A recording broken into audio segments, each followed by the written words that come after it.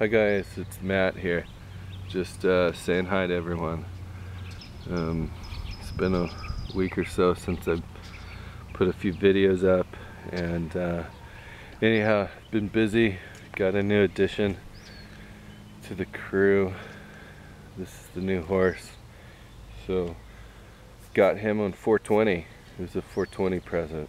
And uh, anyway, was really excited to get him. Today we're shooting right down 0.09 to 0.10, 0.10 uh, becquerels radiation.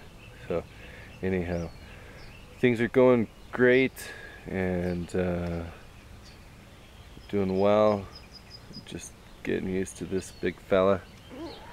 So I hope you all are doing great. Just made the little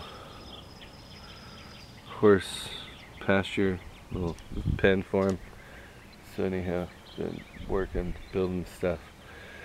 So anyway, hope you all are doing great and uh, hope you had a super 420. Happy 420 to everyone and uh, peace and love.